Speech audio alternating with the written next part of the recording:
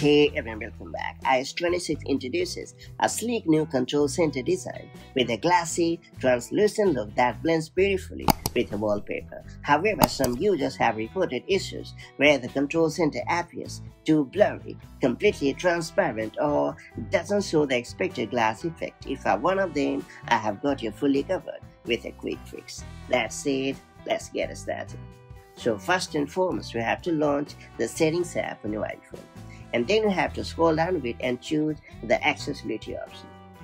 Then you have to head over to the region section and choose the display and text size option. Here you'll find a toggle reduce transparency. Now all you have to do is just enable this option and the transparency effects across the system will be instantly toned down. Once activated, you'll notice a dramatic change in the appearance of the control center.